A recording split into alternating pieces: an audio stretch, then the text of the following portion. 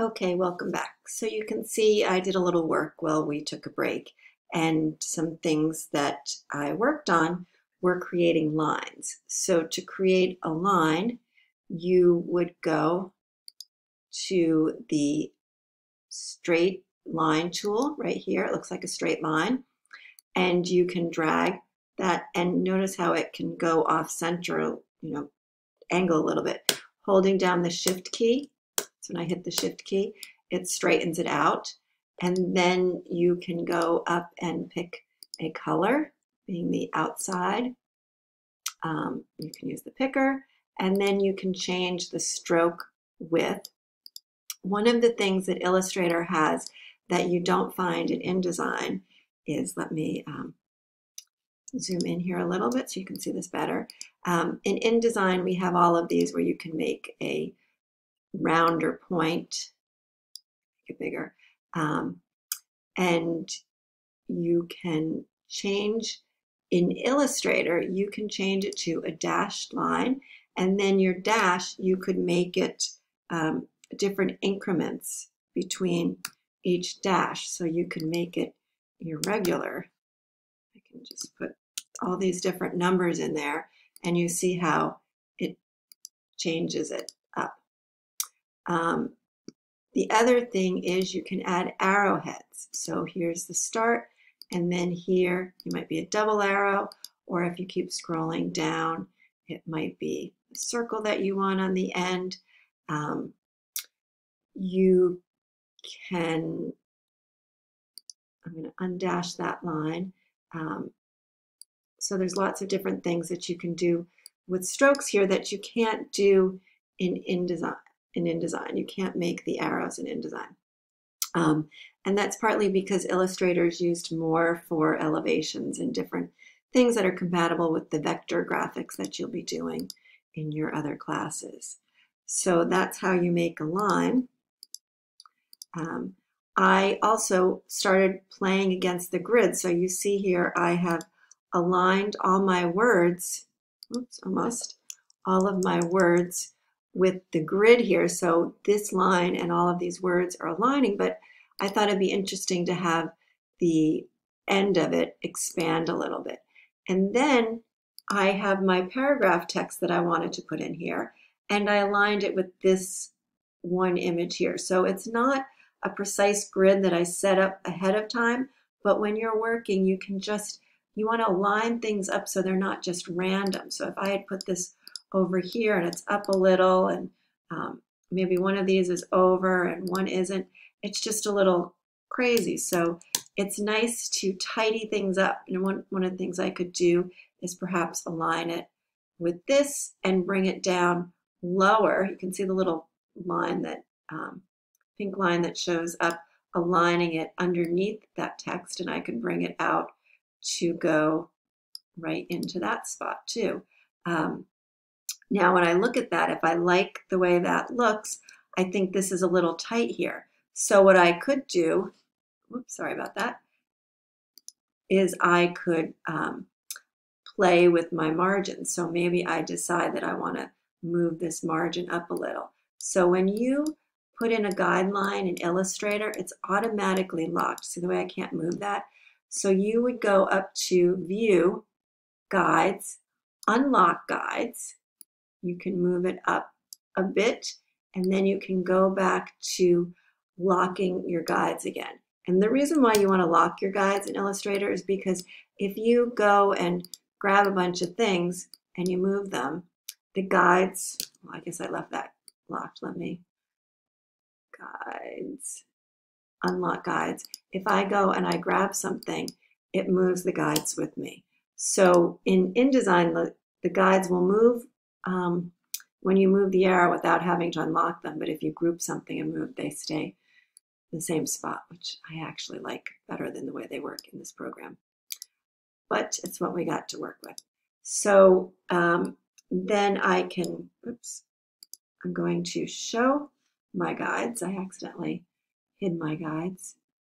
Guides, show guides. Um, so then I can raise this up a bit So maybe I'll make this one go above that guide and this one right below it, okay? It's probably too tight up there, but I would could readjust it. Um, the other thing that I want to show you is alignment. So this paragraph text, because it's paragraph text, I wanted it aligned left. I like that clean edge that it provides. But here I have the word Las Vegas in here and I want it centered in this box. So I have clicked centered. Again, whatever I need seems to appear. Okay, so I am going to make this white because I want it to show up in my box. So I can go over here and make it white. And then I can um, copy and paste for each one of my cities here so that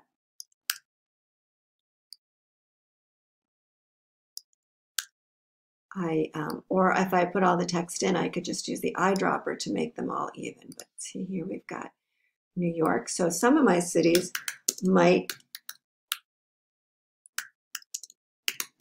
be longer, so I might have to change everything. And this was Barcelona.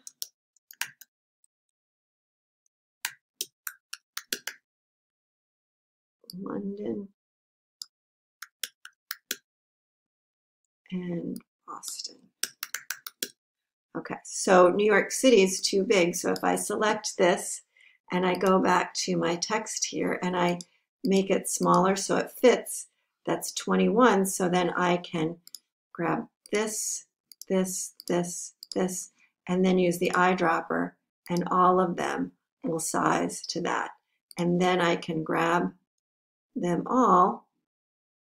I can make one line up with the baseline if I want them to do that. And I might not because I have them all upper and lower case, so they don't really work so well that way. And then I can do a line at the base. So um, I wrote this text here. So now I want to do spell check. So I'm going to go up to edit, spelling, and do spell check. So I'm sure you guys have done spell check before. So I just want you to remember to do that. Um, and so there we have it, okay? So then you are going to save your file. So when you save a file, it automatically saves it as a .ai file. And that is the most stable version. Um, so I'm going to say my cities and then I save it. So it's Illustrator AI. So I save it. Now, if you remember when you were working in InDesign, when you wanted to make a PDF, you would have to go up into File and to Export. Well, here are your export options in um, Illustrator. So you'd say Export As, and it gives you options okay? But PDF is not there. The thing about Illustrator, which is very nice, is that you can save it as a PDF, okay? So it saves it as an EPS, which is also a very good file size, um, very good resolution and good quality, safe file. Um, and it's compatible with a lot of um, vector-based programs. And then the PDF is great because you can save it. Save. And so then the unique thing about a PDF is that you can go back in and grab a PDF that somebody sends me. So you guys, if you send me a PDF, I can go in and I can look at it. I can go in and manipulate things. Except I won't be able to um, find your images unless you embed them. So I'm going to show you that. So here is the link for all of your images. And so, oops. So you can look here and you can select your image. I'm having troubles today. Um, and you could embed that image. And so then if I do a search, if I say um, show embedded, it just shows that one. If I say show missing, there are none that are missing. Show all. So I want you for this assignment to embed your images so that I can see your images. Sorry, I meant to say embed. Uh, sorry. All right, I'm going to show all again. Sorry. Show all. and um, I hit it uh, show embed instead of make embed. it looks like I need to do one at a time. Sorry.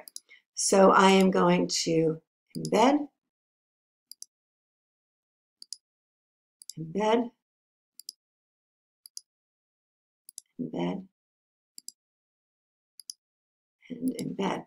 So then when you upload your file, I will be able to open your PDF and see all of your um, images still. Okay?